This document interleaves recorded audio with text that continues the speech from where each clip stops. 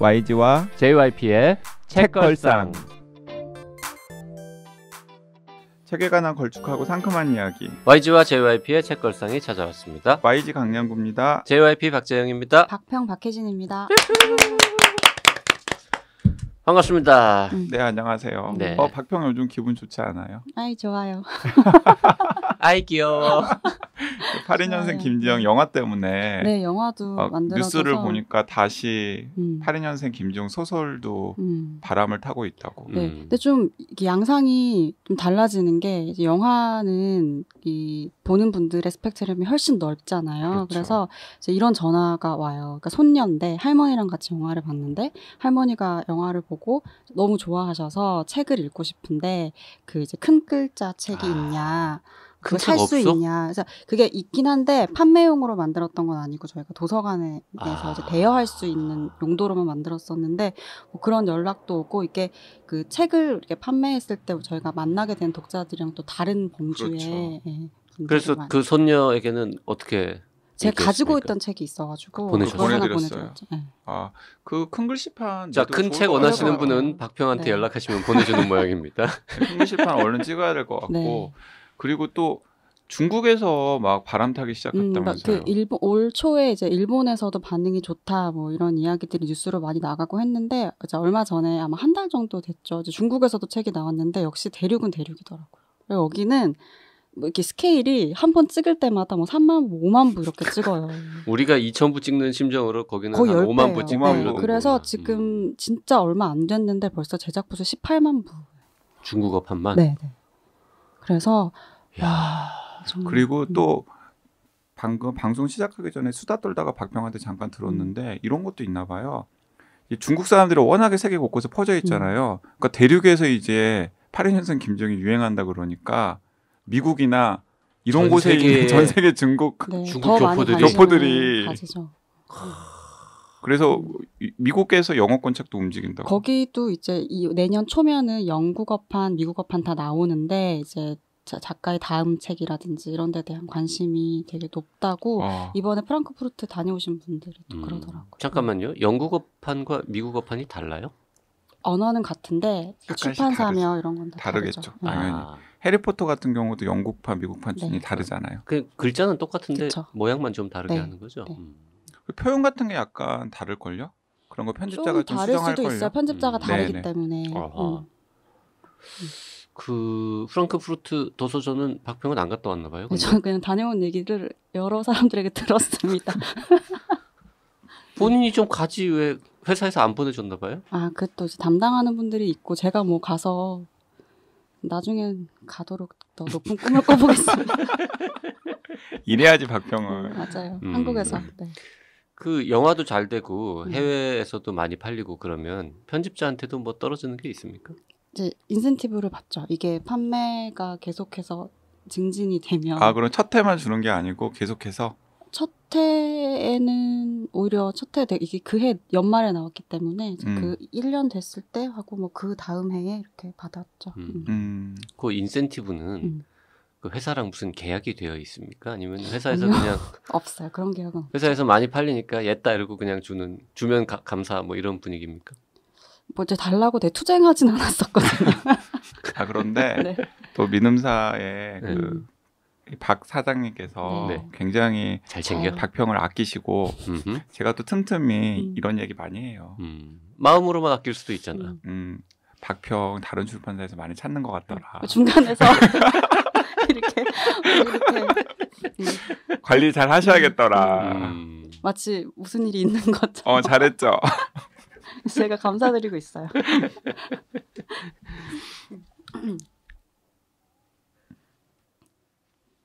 아, 아, 어, 근데 제 옆에 헤어스타일 너무 바뀌었는데 너무 회춘 네,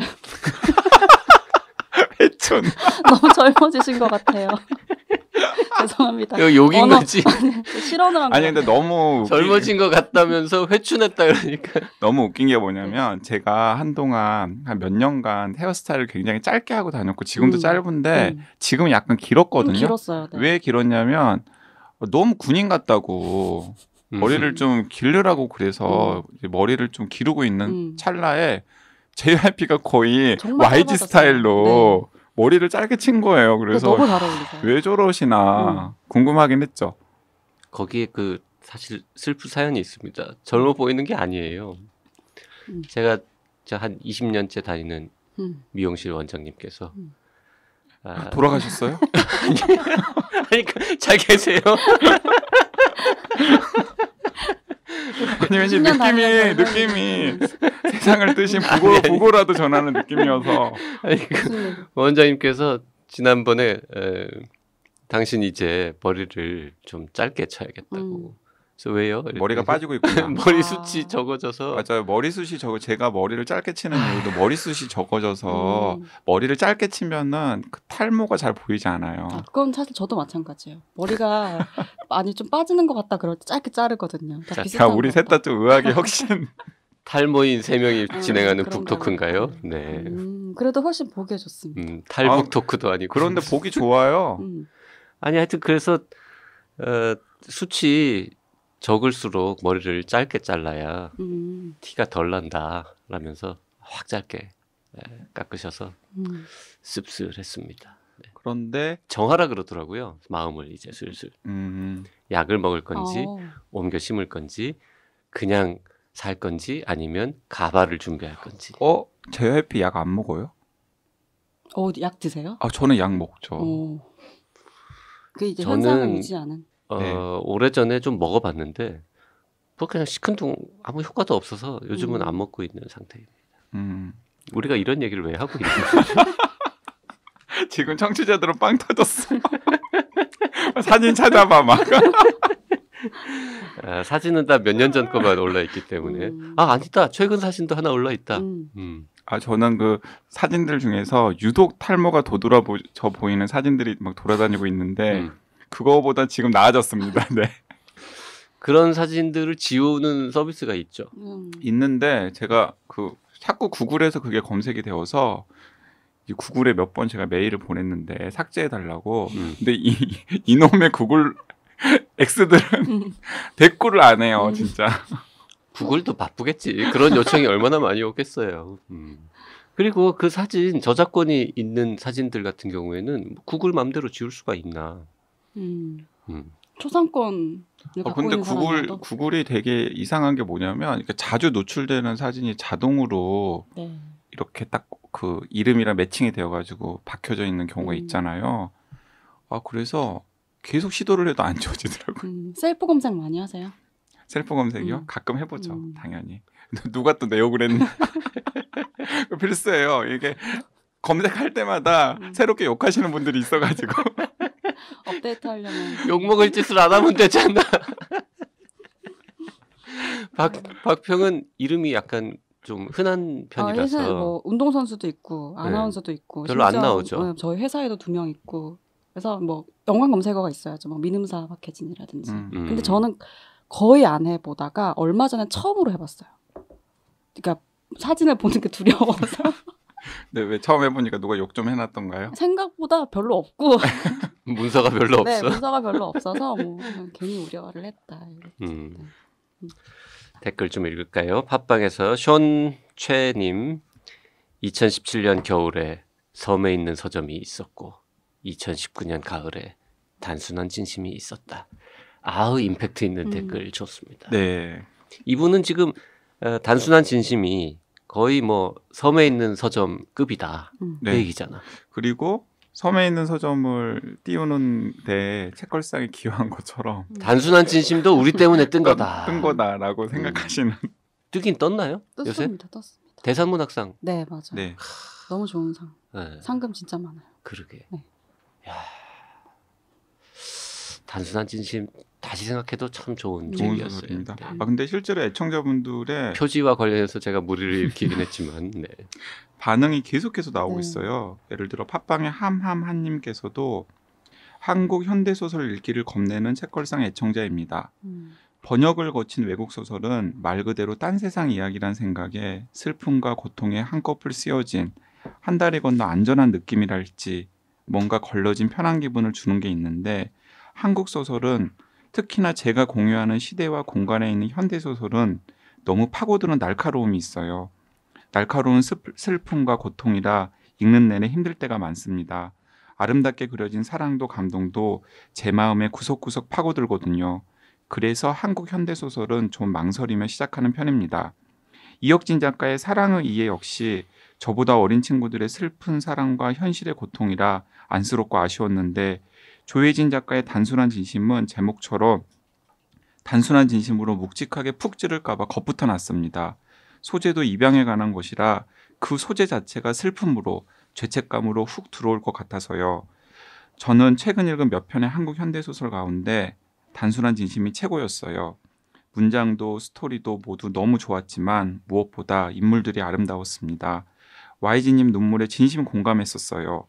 문주와 복희, 작은 등장인물들 모두 인물들이 맞닥뜨린 상황들에 피하지 않고 저마다의 방식으로 성실하게 겪어내는 모습. 그렇게 자신들의 인생을 사는 인물들이 무척 아름다웠습니다. 책걸상 통해서 좋은 책들 읽을 수 있어 좋았는데 이번 추천은 정말 감사드립니다. 혼자서는 선택하지 않았을 거예요. 앞으로도 좋은 책 추천 기대할게요. 늘 책걸상 감사하고 응원합니다. 음. 네. 네, 단순한 진심. 네, 박평 탓이죠 뭐. 음. 박평 덕분에 저희도 이렇게. 됐잖아요. 이렇게 된 것은 저의 네. 탓이에요. 네. 속마음 나왔어. 음. 지니님도 단순한 진심에 관한 말씀하셨는데요. 책을 덮고 한동안 꼼짝도 할 수 없었습니다. 오열하며 읽은 중간 부분의 먹먹함과는 달리 책을 덮은 후에는 가슴 가득한 벅참과 우주를 품을 수 있는 희망이 저에게도 보이는 것 같았어요. 아이를 입양하여 키우고 있는 엄마로서 이 책은 아이의 근원적인 상실감을 이해하는데 그리고 지금 한창 힘든 시간을 지내고 있는 아이와 내게 가슴 벅찬 소중함을 일깨워 주네요. 아이에게도 나 스스로에게도 그냥 따뜻하게 안아주고 싶어졌습니다. 이런 글을 보면은 정말 그 소설의 힘, 힘은 네. 정말 큰 것 같아요. 네. 그리고 단순한 진심은 그 입양을 하신 분들에게도 희망을 주는 음. 참 좋은 책이었습니다. 네. 아직도 안 읽으신 분 계시면 네, 지금 주문하세요. 네. 네, 꼭 읽어보시길 바랍니다. 재고는 아직 많습니다. 네, 푸른 종이님께서도 YG님 페북에서 보고 이 책을 읽었습니다. 사력 있고 섬세한데 감상적이지 않으며 존중이 느껴지는 마음을 울리는 소설이었습니다. 문희경의 빛의 과거와 함께 제게도 오래 읽은 소설 중 최고였습니다. 음. 네. 네, 틸리님 단순한 진심 일부만 듣고 로기완을 만났다와 함께 읽었습니다. 읽으면서 시스터즈라는 입양아 다큐멘터리 영화도 생각나고 김현수 작가의 소설도 생각나고 했는데 아무튼 어떤 느낌을 받든 모든 감정은 독자에게 떠맡기겠다는 듯 담담하게 쓴 것이 더욱 눈물 나게 하는 것 같아요. 로기완도 그렇고 조혜진 작가는 어, 세상이 보지 않는 곳을 지켜봐주는 따뜻한 사람인 것 같다는 인상을 받았습니다. 그리고 책 표지가 왜 이렇냐는 JYP의 말 동감입니다. 저도 책을 보자마자 정말 이게 2019년에 나온 책이 맞나 의심하지 않을 수 없었답니다. 네. 네. 저랑 음. 비슷하게 느끼시는 분도 뭐 없진 않네요. 네. 음. 단순한 진심. 네. 아직도 안 읽으신 분이 계시다면 네. 음. 지금 빨리 주문하시면 좋겠습니다. 네, 네. 가까운 서점에서 네. 사실. 어, 11,700원이네요. 네, 그런 거 있으면 좋겠다. 뭐 뭐 방송 듣다가 바로. 바로 이렇게 딱 주문할 단추. 누르면? 어, 단추 음. 누르면 아, 네. 우리가 서점을 하나 열자니까 음. 제가 맨날 얘기하는데 YG한테 음. YG가 용기가 없어서 지금 아니 용기보다 자본금이 없어가지고 아니 자본금도 없고 서점을 생각하면 신경 써야 게 너무나 너무. 많잖아요. 음. 특히 그 재고 관리는 어떻게 할 것이며 등등등. 제가 서점 얘기를 어, 진짜로 진심으로 몇 사람들하고 해봤어요. 그랬더니 사람들이 다 뭐 컨셉이 뭐냐 뭐 이런 얘기를 하길래 뭐 여러 가지 얘기를 했죠. 이게 지금 아이디어 차원이라서 다 말씀드릴 수는 없는데 그래서 핵심은 하여튼 뭔가 우리가 좀 더 YG가 뭔가 좀 더 해주는 대신에 10% 할인 없이 그냥 정가에 팔겠다. 음. 했더니 이 아이디어를 들은 대부분의 사람들이 그럼 누가 거기서 사냐? YG가 뭘 하냐? YG가 뭘 해준다 한들 10% 다른 데 가면 싸게 파는데 거기는 음. 정가에 팔면 음. 누가 사냐? 심지어 제가 뭘 끼워가지고 더 비싸게 팔 수도 있지 않냐 이랬더니 음. 에이 말도 안 되는 소리 하지 말라고 음. 그러더라고요. 음. 혹시 청취자 여러분 YG가 서점을 만약에 열었다. 음. 물론 뭐 온라인 서점 열겠죠. 열어봐야. 네, 온라인 서점이죠. 네, 온라인 서점을 네. 혹시 열어서 뭔가 이것저것 재밌는 curation도 하고 뭐 이런 저런 저런 일들을 한다면 어, 가격이 가격 할인이 없더라도 어, 예스나 알라딘이나 교보문고가 아니라 YG 서점에서 책을 사겠다는 분 계시면 댓글 좀 달아주십시오. 음. 많이 달리면 서점 차릴지 모릅니다. 음. 반응을 보고. 댓글 안 다셔. 댓글 그런 없으면 서점- 말고 그런 서점 필요 없다. 책걸상이 오랫동안 유지되기를 원해서 오히려 댓글을 달자. 아 혹시 서점이 잘 되면 책걸상 안 할까봐 음, 그거 하느라고 그럴 수도 있고. 음, 그럴 리야 있겠습니까? 네. 하겠죠. 서점이 잘 되면 더 열심히 하겠죠, 음. 책걸상이. 네. 자, 오늘 읽을 책은 저희가 아까 머리 빠지는 얘기 많이 했는데 음, 음, 아직까지는 탈모 따위는 전혀 걱정할 필요가 없는 세대들이 아주 공감하고 있는 요즘 핫한 소설. 네, 20대, 30대 독자들이 열광하는 장류진 작가의 첫 단편 소설집 일의 기쁨과 슬픔을 같이 읽어보기로 했습니다. 네. 음, 장류진. 네. 처음 듣는 이름입니다, 당연히. 음, 근데 저는 그 제 친한 후배들 중에 건너하는 분들이 많더라고요. 음. 왜냐하면은 같은 학교에서 공부를 한 적이 있었더라고요. 음, 그래서 수업을 같이 들었었는데 혹은 같은 조에서 조발표를 했었는데 최근에 작가 인터뷰가 떠서 엄청 놀랐다라는 제보들이 막 음. 들어오더라고요. 음, 장류진 작가는 86년생인데 음, 이렇게 어린 후배들하고도 현재 교류가 있는 모양입니다. 아, 86년생하고는 교류가 없고요. 음. 아, 복- 수업을 같이 들었던 당시에 복학생들. 아 네네. 어린 장유진 학생과 함께 들었던 나이 많은 복학생들. 네네. 아, 음. 그 정도 후배까지는 연결이 되어 있군요. 음, 네. 저도 86년생이에요. 아 그렇습니까? 네. 그래 86년생이랑 방송하면서 아 네. 네. 그러니까 이제 30대 중반을 중반. 향해 가는 나이. 가는 음, 나이죠. 음. 음. 일의 기쁨과 슬픔. 뭐 제목은 뭐 어디서 들어본 듯도 한데 실제로 뭐 어디서 따온 거라고요? 그 알랭드 보통의 음. 일의 기쁨, 기쁨과 슬픔에서 따온 네네. 본인도 그렇게 밝힌 것 맞아요. 네네. 알고 어디 있어요. 쓰여 네네. 있더라고요. 네. 알랭드 보통을 JYP는 뭐 그리 좋아하지 않기 때문에. 음. 네. 그래도 일의 기쁨과. 슬픔은 네. 굉장히 재밌게 읽었던 걸로. 저도 일의 기쁨과 슬픔 안 읽었어요. 어. 저도 알랭드 보통 별로 음. 좋아하지 저만. 않거든요. 알랭드 보통을 꼭 좋아해야 하는 건 아니지 않습니까? 네. 맞아요. 근데 저는 알랭드 보통 책 중에서 그거 좋았어요. 뉴스의 시대. 음. 뭐 알아야 말이야. 저그 알랭드 보통 좋아하시거나 좋아하시지 않거나 애청자분들한테 권해드려요. 뉴스의 시대. 뭐 오늘날 뉴스가 왜 이 모양 이 꼴인지에 음. 대해서 알랭드 보통이 약간 저널리스틱하게 쓴 에- 에세이, 음. 논픽션인데 저는 그거 굉장히 재밌게 읽었습니다. 솔직히 그 책 나왔다는 기사를 보면서 어, 알랭드 보통 책들 중에서 요건 좀 읽어보고 싶다 느낌은 음. 들었습니다. 음. 네, 저널리스트로서. 음. 네. 제가 그거 그 엑기스만 메모해 놓은 거 있는데 그 파일 음. 보내드릴까요? 아이 됐어요. 책걸상 안 했으면 읽었을지도 모르는데 음. 책걸상 때문에 읽어야 할 책이 너무 많아가지고요. 네. 음. 일의 기쁨과 슬픔 네, 단편집인데 여덟 편? 네, 여덟 편이고요. 여덟 편인데 뭐 그리 두껍지 않습니다. 네. 네. 그리고 이 소설집은 이 표제작 때문에 책이 나오기 전부터 막 음. 들썩들썩했던 음. 작품이죠. 제가 이 책이 뭐 그렇게 유명한 책인 줄 모르고 같이 읽자고 해서 그냥 읽었는데 여덟 편 중에서 두 편을 제가 이미 아는 설정과 예, 음. 맞아요. 무슨 내용인지 대충 아는 게 두 개나 들어있더라고요. 뭐 다른 매체를 된 통해서. 보셨던 일의 거. 그 기쁨과 슬픔이랑 새벽의 방문자들 아니에요? 네네 맞아요. 두 개. 예. 그두 개가 소설을 발표하자마자 화제가 막 음. 되어가지고 여기저기서 많이 그 음. 설정이라던가 이런 것들이 언급이 되었죠. 음. 일단 장류진이라는 작가는 어떤 사람입니까?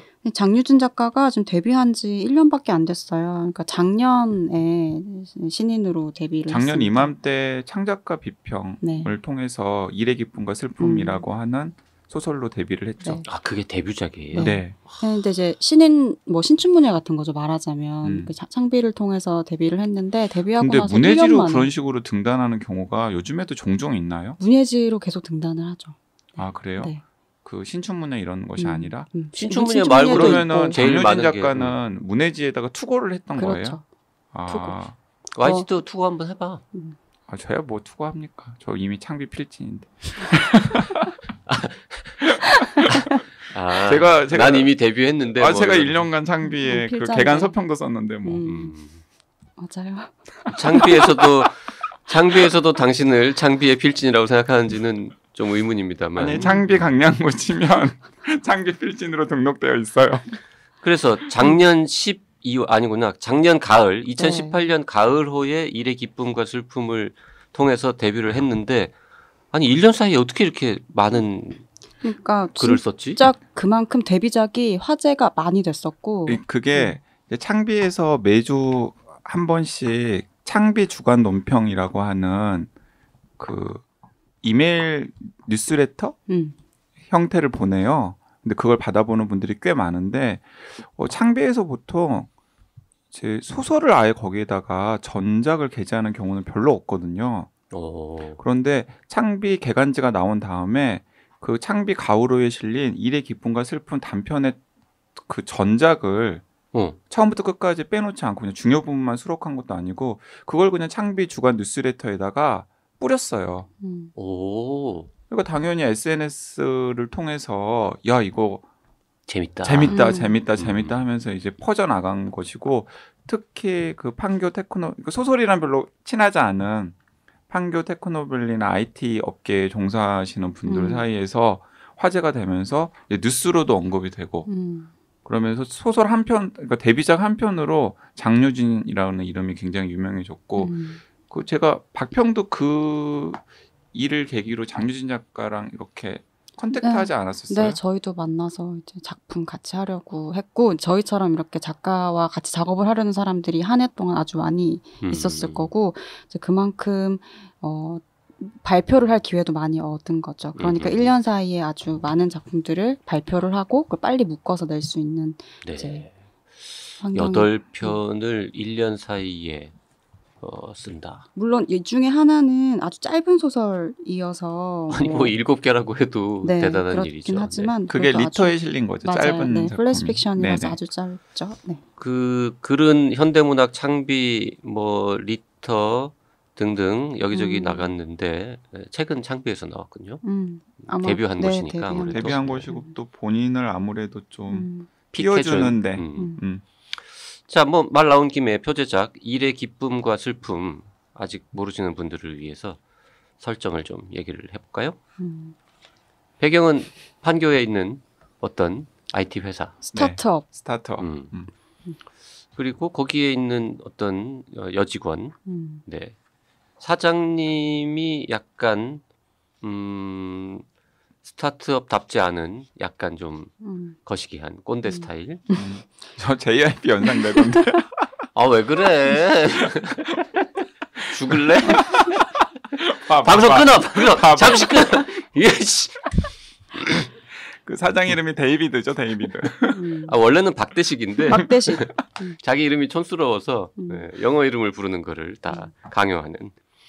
근데 주인공은 이름이 하필 또 안나. 어. 예, 영어 이름이라 가지고 음. 그냥 예, 안나라는 이름으로 불리는 사람입니다. 그 이제 이런 설정들이 그 판교 테크노밸리나 혹은 startup에 종사하시는 분들 사이에서 맞아 맞아 내 얘기야 맞아요. 음. 이런 식으로 많이 된 음. 거죠. 그러니까 영어 이름 쓰고 막 반말하자고 하는데 음. 상사는 아랫 사람들한테 반말하는데 음. 아랫 사람은 상사한테 데이비드님 음.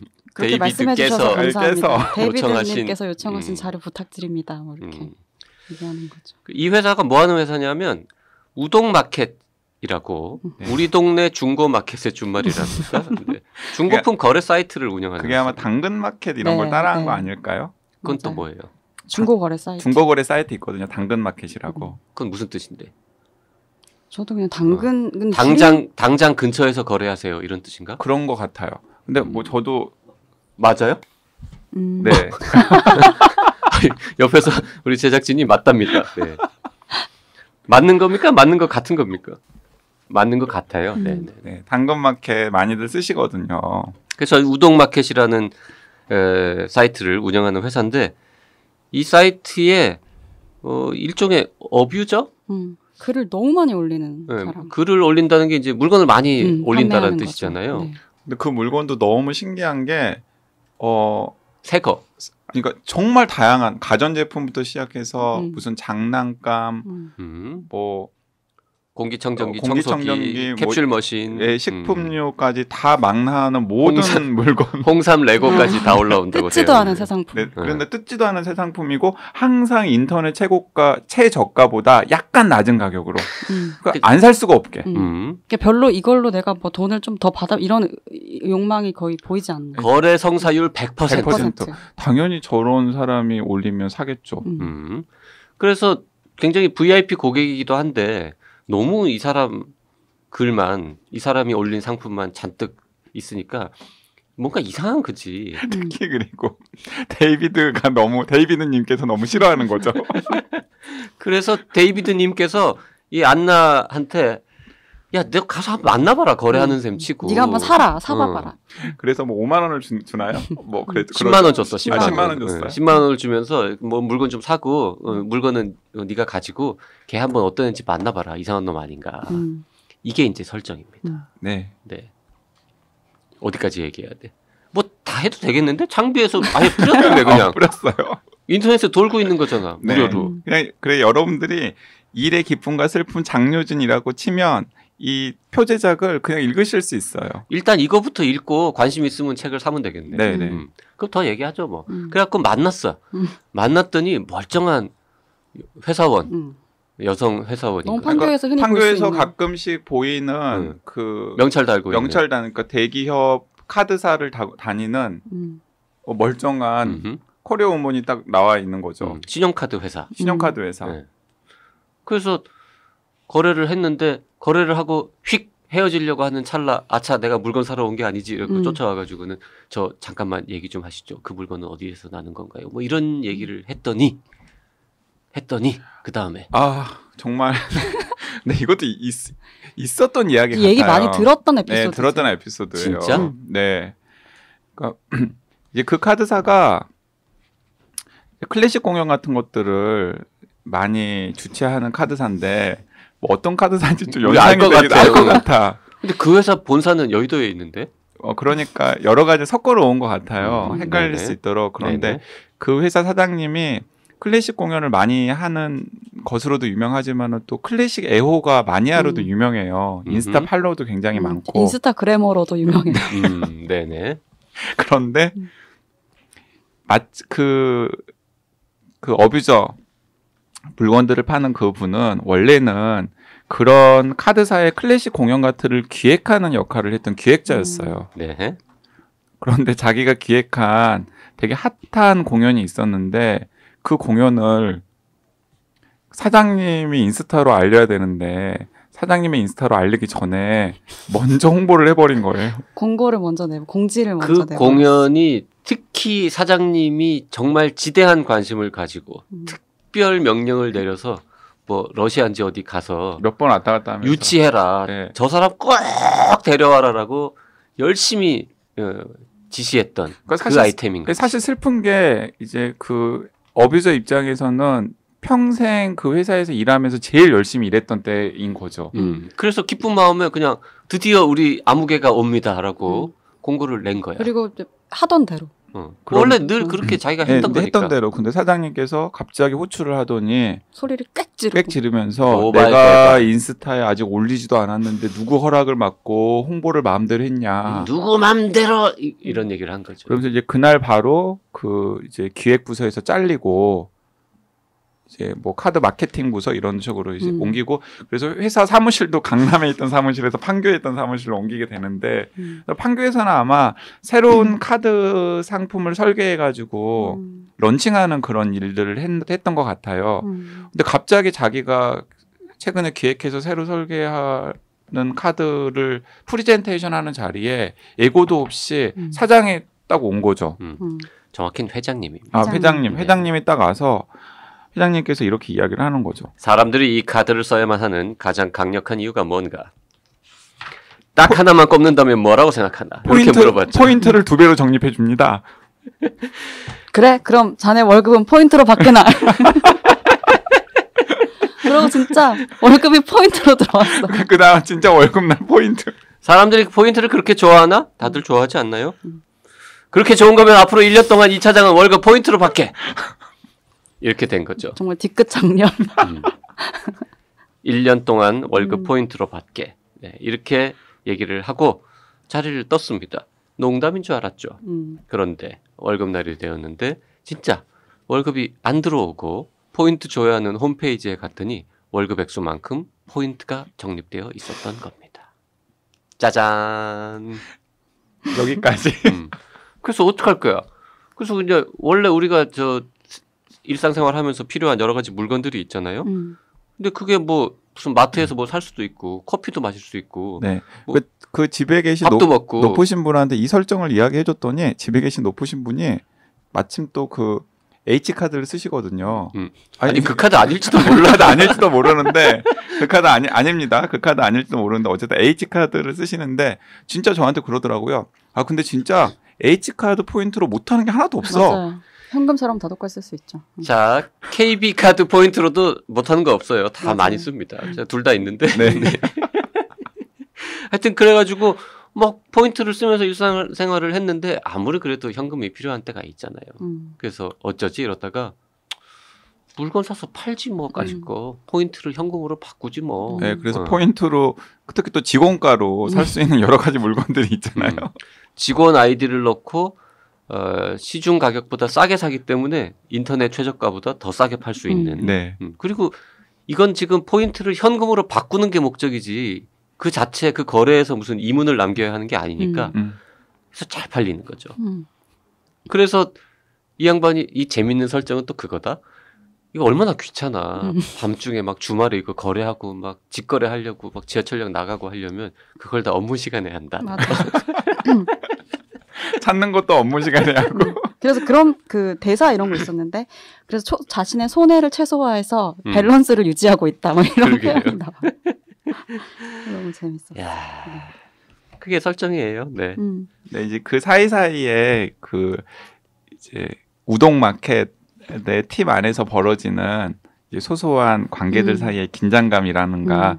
그리고 스타트업에서 일하는 사람들의 관계나 음. 상사와 부하 직원의 관계 등등에 대한 음. 깨알 같은 리얼한 설정들 같은 것들이 실제로 회사에서 일하는 사람들 사이에서 아 저거 내 얘긴데 음. 내 얘긴데 이런 반응을 불러 일으키면서 음. 조회수 40만 건의 폭발적인 관심을 불러 음. 모았죠. 네. 그러니까 여기 나오는 에피소드들이 정말 재밌고 그 우리가 그냥 일상에서 이렇게 스스로 자조하거나 이렇게 확 이- 재밌게 이야기를 했던 것들이 소설에 있으니까 더 반갑게 또 공감하면서 읽을 것 같은데 예를 들면 스크럼 같은 그 에피소드들은 진짜 재밌더라고요. 이게 이제 프로그램 어떤 프로젝트를 조직적으로 관리하기 위해서 하루에 15분씩 간단하게 업무 보고를 하고 이제 말하자면 조회 같은 것들을 아주 약식으로 하는 건데 그것도 서서. 네, 서서 간단하게 이렇게 하는 예, 건데. 왜냐하면 앉으면은 길어지니까 서서 음. 하는 회의인데 음. 데이빗 데이빗이 항상 20분 넘게 해서 결과적으로 항상 30분 이상씩 스크럼을 하게 되는 이런 좀 뭐 약간 아이러니한 상황들이라든지 음. 이런 것들에 대한 묘사가 굉장히 재밌게 되고 있더라고요. 그리고 그 어, 포인트로 월급 받은 그분이 집에서 거북이 키우잖아요. 세 마리 키워요. 세 마리를 키우는데 귀엽죠? 우리 집 거북이에요. 이름은 람보. 그랬더니 람보요? 아 람보르기니의 그 람보요. 그랬더니 어, 두 번째 거북이는 마세. 마세라티. 그러니까 라티? 그러니까 어 맞죠. 그랬더니 그다음 이 여주인공 안나 씨가 맞추잖아요. 세 번째 거는 혹시 페라인가요? 자기 엄청 똘똘하구나. 네. 이런 것도 네, 맞아요. 아주 재미있죠. 음. 그 얼핏 듣기에 이 장유진 씨가 지금 전업 작가는 아니에요. 지금 최근에 전업 작가가 최근에 됐어요. 전업 작가 네. 되셨어요. 드디어 그만뒀습니까? 네. 네. 원래는 실제로 IT 음. 업체에서 기획자로 10년 정도 일하신 것 같더라고요. 네, 음. 기획자로 일을 하셨던 것 같고 그 때 오가면서 들었던 여러 가지 사연들이나 에피소드 같은 것들을 음. 다 이렇게 취재를 해서 음. 잘 섞어가지고 이 소설 한 편을 멋지게 딱 구성을 했던 그러게요. 것 같아요. 그 농담도 실제로 IT 업계에서 쓰는 농담 같은 게좀 네. 들어가 음. 있는 것 같은 게 음. 저 이거 옛날에 어디서 들었거든요. 개발자에 관한 음. 농담. 음. 내성적인 개발자는 대화할 때 자기 신발을 보고 외향적인 개발자는 상대방의 신발을 본다. 이런 거. 여기 실제로 있던 농담이잖아요. 맞아요. 네. 음. 아주 재밌었습니다. 네. 음. 근데 이 일의 기쁨과 슬픔은 읽어보면 아 이게 왜 화제가 됐겠구나라는 것을 사실 의심 없이 이제 좀 경험할 수 있는 음. 작품이었어요. 음. 자, 일단 그러면 어, 여기까지 이제 수사를 들으셨으니까 어, 어떻게든 어, 일의 기쁨과 슬픔 파일을 구하셔가지고 음, 파일이 아니고요. 그냥 구글에서 일의 기쁨과 슬픔 장류진 이렇게 치면 음, 쉽게 볼 수 있어요. 예, 쉽게 음. 보실 수 있어요. 그거를 보시고 그 다음에 책을 주문하셔서 읽으면 좋을 것 같고요. 어, 그 다음에 이제 저희 어, 이틀 있다가 올라갈 음. 2부 방송을 들으시면 될 것 같습니다.